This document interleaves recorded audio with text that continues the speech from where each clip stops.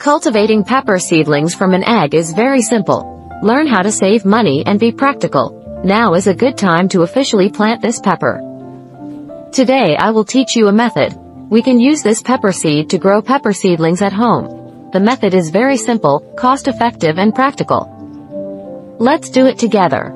To understand, first we prepare the soil, then prepare an egg, open the top of the eggshell gently without breaking it, then break it open, Pour the egg into the soil, find an aloe vera stick, and put the aloe vera gel on it. Put it into the soil and mix it.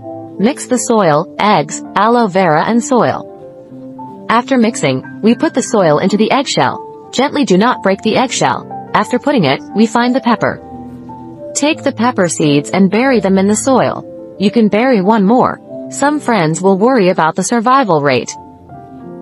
If we put one, if we are worried, buy two seeds. After buying the seeds, cover it with a plastic bucket.